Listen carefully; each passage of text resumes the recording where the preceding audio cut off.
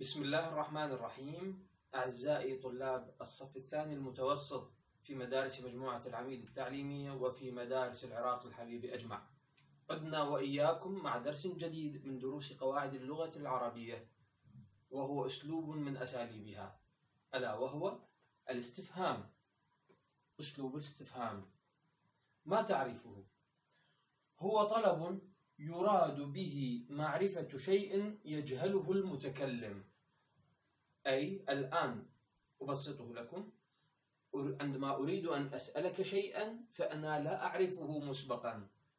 فإذا أردت أن أسألك ما اسمك فأنا لا أعرف اسمك. لذلك أسألك عنه. فهذا هو معنى أسلوب الاستفهام. طيب جملة الاستفهام مما تتكون؟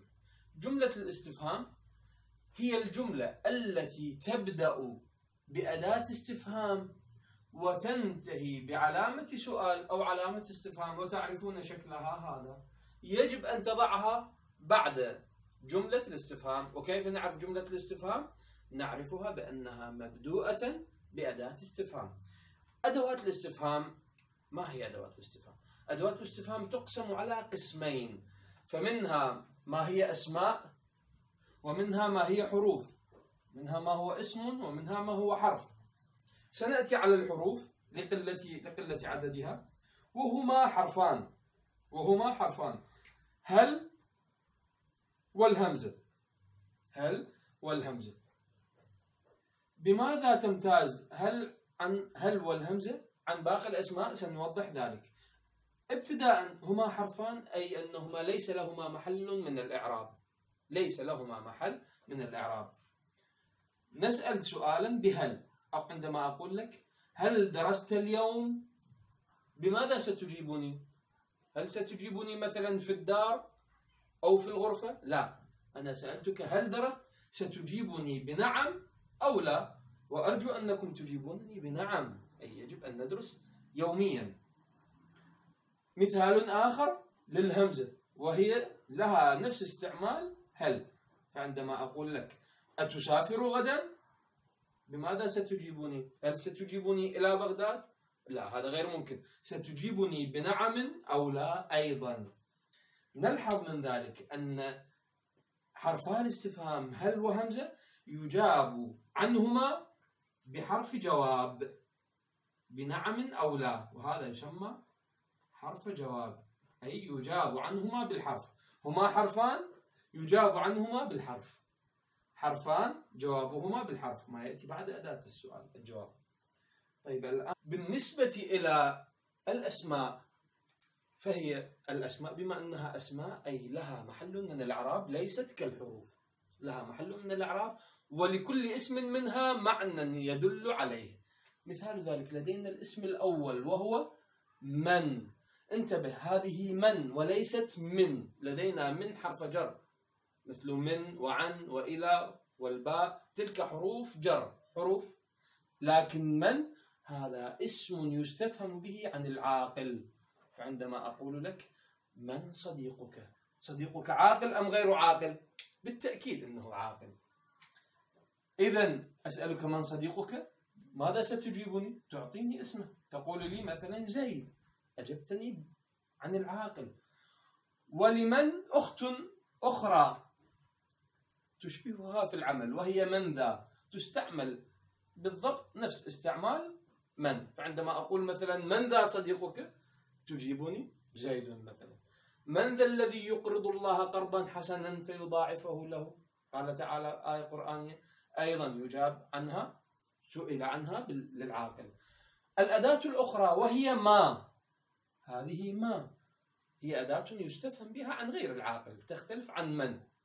وهي اسم أيضا يستفهم بها عن غير العاقل. فمثال ذلك ما درسك؟ ما درسك هذا اليوم؟ ستجيبني مثلا. ماذا تدرس الآن؟ اللغة العربية نعم. أو الرياضيات وما إلى ذلك من من المواد. ولما أيضا؟ أخت أخرى تشبهها في العمل أيضا وهي ماذا؟ لها نفس العمل. فعندما أقول لك ماذا تدرس الآن؟ نفس العمل بالضبط تجيبني يعني يستفهم بها عن غير العاقل. أداة أخرى وهي أين؟ عن ماذا يستفهم بأين؟ أنا أسألك الآن. أين كنت؟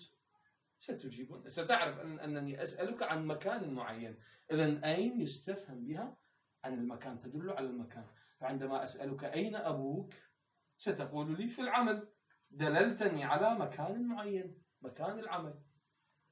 هذه الأداة الثالثة. ولدينا أداة أخرى وهي متى؟ مثلا هل بالإمكان أن أقول لك متى أبوك؟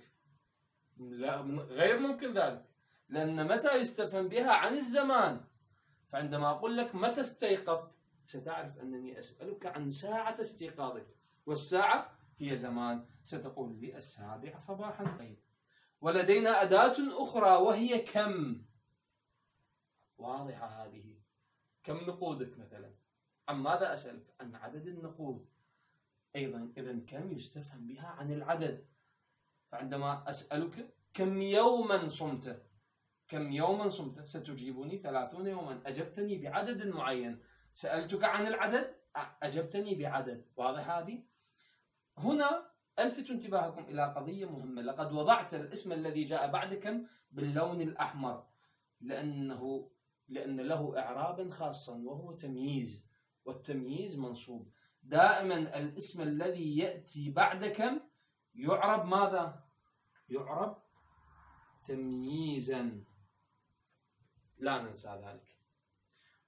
الأداة الأخيرة وهي أي. ما هي؟ أي. طيب ستسألني ما معنى أي؟ سأقول لك ببساطة. أن بإمكاني أي أن تكون معنى أي من هذه الأدوات. كيف ذلك؟ بحسب ما يضاف بحسب ما تضاف إليه. أي أن أي تكون أولا ملازمة للإضافة. أي يجب أن يأتي به. وهذا الاسم الذي يأتي بعدها يحدد معنى أي. هنا مثلا أي صديق عندك؟ الصديق هو الاسم الذي جاء بعد أي وهو ماذا؟ هو عاقل. إذا بماذا ستجيبني؟ ستجيبني بما أجبتني به عن من؟ وهي للعاقل. ستقول لي زيد مثلا. عندما أسألك أي درس لديك؟ هنا سألتك عن غير العاقل. بماذا ستجيبني؟ العربية. بنفس الجواب الذي أجبتني به عن ما. هنا عندما أسألك في أي مكان أبوك انظر الذي جاء بعد أي مكان. إذا ستجيبني بنفس الإجابة التي أجبتني بها عن أين؟ في العمل. وعندما أسألك أي وقت استيقظت أترى الاسم المضاف إليه الذي جاء بعد أي؟ يدل على الزمان ستجيبني السابعة صباحا.